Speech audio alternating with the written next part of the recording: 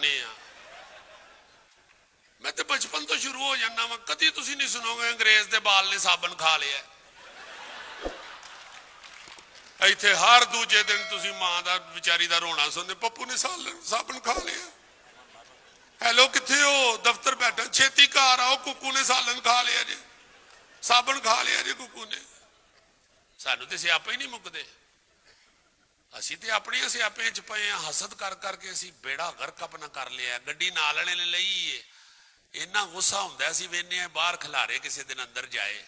ਕੋਲੋਂ ਜਾਂਦੇ ਆ ਉਹਦੇ ਤੇ ਝਰੀਟ ਪਾ ਜਾਂਦੇ ਆ। ਯਾਰ ਉਹਨੇ ਲੈ ਲਈਏ, ਤੂੰ ਵੀ ਦੁਆ ਕਰ, ਤੈਨੂੰ ਵੀ ਮਿਲ ਜਾਵੇ। ਕੋ ਘਰ ਬਾਹਰ ਕਲੀਸ਼ਲੀ ਕਰਾ ਲਵੇ ਨਾ ਜੀ। ਰੰਗ ਰੋਗਨ ਵਿਚਾਰਾ ਆਪਣੇ ਪੈਸੇ ਇਕੱਠੇ ਜੋੜ ਕੇ ਘਰ ਨੂੰ ਪੇਂਟ ਸ਼ੇਂਟ ਕਰਾ ਲੇ ਤੇ ਸਾਰੇ ਬੱਲੇ ਨੂੰ ਗੁੱਸਾ ਚੜ ਜਾਂਦਾ ਫਿਰ ਕੁਝ ਜ਼ਿਆਦਾ ਆਕੇ ਆ ਬੰਦਾ ਰਾਤੀ, ਅੱਧੀ ਰਾਤੀ ਉੱਠ ਕੇ ਉਹਦੀ ਕੰਧ ਦੇ ਉੱਤੇ ਲਿਖ ਦਿੰਦਾ, ਅਮਰੀਕਾ ਕੁੱਤਾ ਹੈ।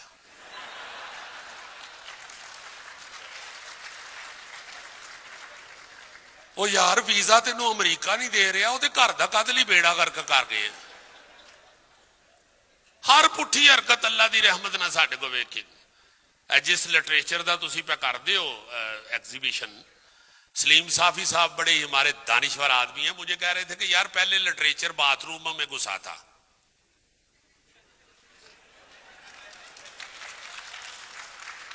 दीवारों पे लिखा हुआ मिलता था हमें।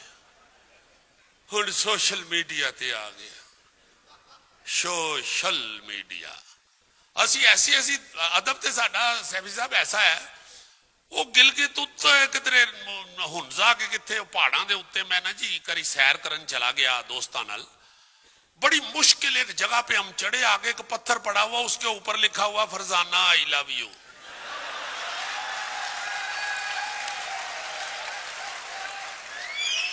ਨਹੀਂ ਤੁਹਾਨੂੰ ਤਕਲੀਫ ਕੀ ਹੈ ਉਹ ਉਹ ਉਹ ਜਿੱਥੇ ਲਿਖਿਆ ਸੀ ਮੈਨੂੰ ਇੰਜ ਲੱਗੇ ਫਰਜ਼ਾਨਾ ਕਿਸੇ ਬਾਂਦਰੀ ਦਾ ਨਾਂ ਹੈ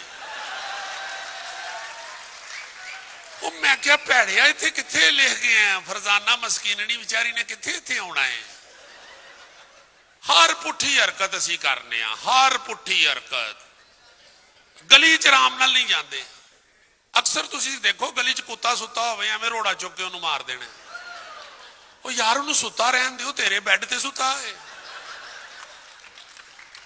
ਯਾਨੀ ਉਹਨੇ ਸੁੱਤੇ ਪਏ ਨੇ ਤੇਰੇ ਤੇ ਲੱਤ ਰੱਖ ਦਿੱਤੀ ਹੈ ਉਹਨੂੰ ਸੁੱਤਾ ਰਹਿਣ ਦੇ ਵਿਚਾਰੇ ਨੂੰ ਬੋਤਲ ਕਿਧਰੇ ਨਜ਼ਰ ਆ ਜਾ ਉਹਨੂੰ ਠੋਡੇ ਮਾਰਨ ਲੱਗ ਪੈਂਦੇ ਆ। ਅੱਛਾ ਸੁਹੇਲ ਸਾਹਿਬ। ਉਹ ਇੱਕ ਬੰਦੇ ਨੇ ਮੈਨੂੰ ਯਾਦ ਆ ਗਿਆ ਇੱਕ ਬੰਦੇ ਨੇ ਬੋਤਲ ਨੂੰ ਠੁੱਡਾ ਮਾਰਿਆ ਨਾ।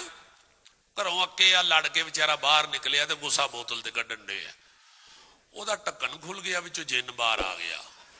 ਉਹ ਕਹਿੰਦਾ ਕੀ ਹੁਕਮ ਹੈ ਮੇਰੇ ਆਕਾ? ਉਹ ਕਹਿੰਦਾ ਯਾਰ ਜੇ ਆ ਹੀ ਗਏ ਆ ਮੱਥੇ ਲੱਗ ਹੀ ਗਏ ਆ ਤੇ ਤੇਰੀ ਮਿਹਰਬਾਨੀ ਕੋਈ ਇਹੋ ਜਿਹਾ ਮੰਤਰ ਪੜ ਐ ਤੇਰੀ ਭਰਜਾਈ ਤੇ ਮੇਰੀ ਤਾਬੇਦਾਰ ਹੋਵੇ। वो जिन नस के वापस बोतल च वड़ गया। उन्हें सिर बहर कट के क्या भाजी ऐत की जरा ढक्कन टैट करके बंद करना। वो कहता बूढ़ी काबू च होंगी तो मैं बोतल च रहा इस रखता हर पुठा काम असी करने मतलब मैं हैरान होता हूँ कि दो बंदे बैठे हो, एक का मैसेज आए ना फ़ोन पे, ज़ाहिर है वो ट्रम, बेल होती है। मैसेज नाल पढ़ रहे असं एवं वेखन लग पैने ਯਾਰ ਉਹਦਾ ਮੈਸੇਜ ਆਇਆ ਤੂੰ ਕਿਉਂ ਪੜ ਰਹੇ ਹੈ ਉਹਦੀ ਹੋਰੇ ਬੇਗਮ ਨੇ ਇਹੋ ਹੀ ਮੈਸੇਜ ਕੀਤਾ ਹੋਵੇ ਕਿ ਫਿਰ ਇਸਲਾਮਤੀ ਕੋਲ ਬੈਠਾ ਹੈ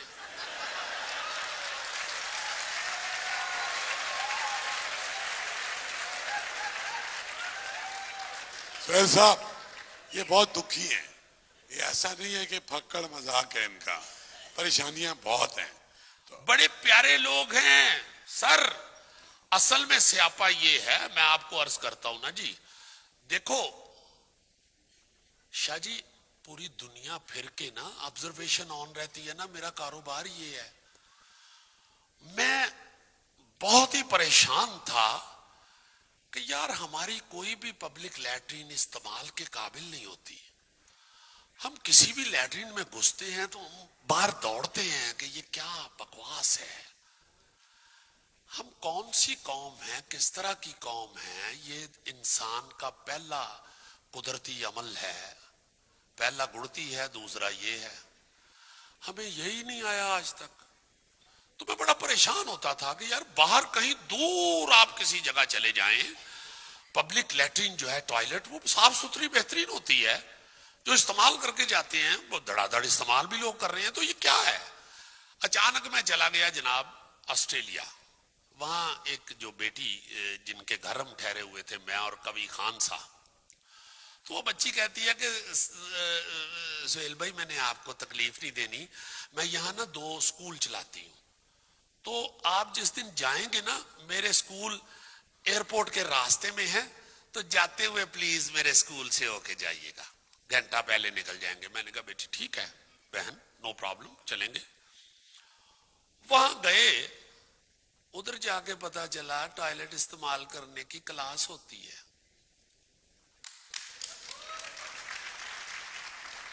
एक कमरा था जिसमें छोटे छोटे यूरन पॉट छोटे छोटे कम्बोर्ड इतने इतने से लगे हुए छोटे छोटे बेसन लगे हुए और दो खातन टीचर उन बच्चों को बता रही थी कम्बोर्ड पे असि दे ले पैर उत्ते रख बह जाने सानू ही नहीं समझ आई असि कि बहना ਉਹ ਮੈਂ ਲੰਡਨ ਇੱਕ ਟੀਮ ਲੈ ਕੇ ਚਲਾ ਗਿਆ ਇੱਕਦਮ ਥੱਲੇ ਟੀਵੀ ਲੌਂਜ ਬੈਠੇ ਸਾਂ ਤੇ ਉਸ ਛੱਤ ਚੋਣ ਲੱਗ ਪਈ ਮੈਂ ਕਿਹਾ ਇਹ ਕੀ ਹੋਇਆ ਉਹ ਕਹਿੰਦੇ ਨੇ ਭਾਜੀ ਉੱਤੇ ਸਖਾਵਤ ਨਾਦ ਨਹਾਣ ਡੇ ਆ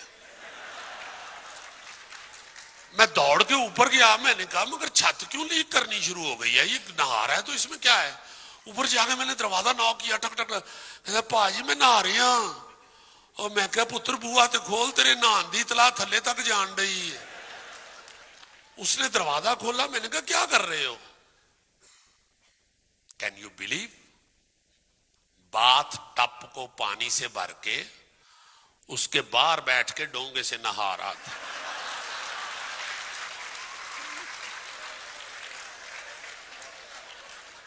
उस वक्त मुझे यह एहसास हुआ, देखिए, ये आपके लिए लाफ्टर है, मगर मेरे लिए सबक था।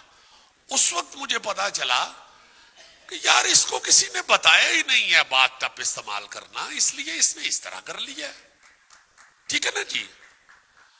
तो हमारे यहाँ ये तरबियत, ट्रैफ़िक ये याद रखना, पाकिस्तान की ट्रैफ़िक जितना मर्ज़ी सख्त कानून ले आए, ये कभी ठीक नहीं होगी। ये ठीक कब होगी?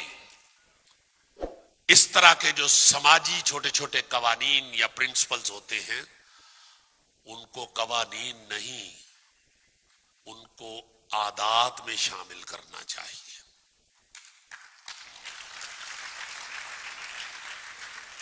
वो छोटे छोटे बच्चों की आदतों में शामिल करते हैं। आप कभी बाहर जाएँ या कोई आपका बाहर का दोस्त बताएगा कि अगर आप इशारा काटते हैं ओवर स्पीड होते हैं, कोई ओवरटेक गलत करते हैं तो गाड़ी में बैठा हुआ बच्चा लड़ता है बाप के साथ कि ये आपने गलत किया है। क्योंकि उस बच्चे को स्कूल में ये ट्रेनिंग दी जाती है ये ट्रैफिक कवानीन ट्रैफिक के उसूल जो हैं ये स्कूलों में बच्चों के ब्लड में शामिल किए जाते हैं फाइन तो जिन्ना मर्जी ਵਧਾਈ जाओ ਅਸੀਂ ਉਨੀ बिजली चोरी कर ਲਾਂਗੇ कोई ऐसी गल नहीं फाइन तो ਅਸੀਂ दे देंगे बच्चों की आदात में कौमों की आदात में ऐसी चीजें शामिल करनी पड़ती हैं फिर कहीं जाके, मैं एक छोटी सी बच्ची को कनाडा भतीजी है मेरे कज़न की बेटी, उसको लेके, वो मुझे कहता है, यार, गाड़ी चलाओ मैंने कहा मैं तो नहीं यहाँ चला सकता, ये वैसे भी लेफ़्ट हैंड ड्राइविंग है यहाँ. तो उसके मोहल्ले में उसने कहा भाजी थे कि चक्कर दे लाओ, जाके कहते सको कनाडा गड्डी चलाइए. मैं क्या अच्छा जी, मैं वो गाड़ी में ड्राइव करने बैठ गया। वो छोटी सी एक बच्ची, बीस साल पहले की बात है, अब तो वो यूनिवर्सिटी में बच्ची पढ़ती है तो वो पीछे मेरे गाड़ी में चढ़ गई। ताया मैंने भी जाना है, वो बैठ गई। यानी मैंने बेल्ट नहीं लगाई। अब फिक्रा सुने। आपको पता चल जाएगा, ट्रैफ़िक ठीक कैसे होती है। एक फिक्रे से आप माशाल्लाह समझदार आदमी हैं। आप देखें कि वो बच्ची मुझे क्या कहती है। बेल्ट की हमें उस वक्त तो बिल्कुल ही आदत नहीं थी। तो वो टी टी टी टी टी, सायरन बजना शुरू हो गया बेल्ट ना बांधने की वजह से। वो बच्ची ने मुझे क्या कहा है? एक फिक्रा है। ताया गाड़ी को चुप करवाएँ, गाड़ी रो रही है। मैंने कहा शर्मिंदगी से मैं सारा कुछ समझ तो गया। मैंने कहा, पूरी तफसील इससे सुनो। मैंने कहा, गाड़ी कैसे रो सकती है? कहती है, आपको इसकी चीखों की आवाज़ नहीं आ रही।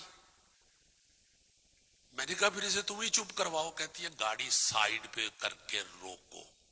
उसको ये भी पता है कि गाड़ी साइड पे करके रोकते हैं। गाड़ी साइड में करे और रोके। मैं रुक गया। इतनी छोटी थी कि वो पिछली उसने पिछली बेल्ट बांधी हुई थी। बेल्ट उतार के सीट पे खड़ी हुई। उसने वो क्लिप पकड़ा बेल्ट का। कहती है ये निप्पल इसके मुँह में दे ये चुप कर जाएगी। सोहेल साहब ये है कौमे। आखिरी बात करेंगे। क्यों? अल्लाह खैर करे अगला सेशन भी अगला सेशन तो नाल कल करेंगे। ਇਹ ਦੱਸੋ ਕਿ ਪੂਰਾ ਪਾਕਿਸਤਾਨ ਰੋ ਰਿਹਾ ਹੈ ਇਹਨੂੰ ਕਿਸ ਤਰ੍ਹਾਂ ਚੁੱਪ ਕਰਾਈਏ मैं चुप कर जाओ ਹਾਲਾਤ मैं ਨਹੀਂ चुप ਬਦਲ करो क्यों रो रहे हो रोना बंद करके ठहर फकीरा कालिया फूली ऐब किसे दे फिर पहले अपनी मंजी हेठा जरा डंगोरी फिर बस सोहेल साहब आपका बहुत बहुत शुक्रिया आपका बहुत शुक्रिया बड़ी मेहरबानी मुझे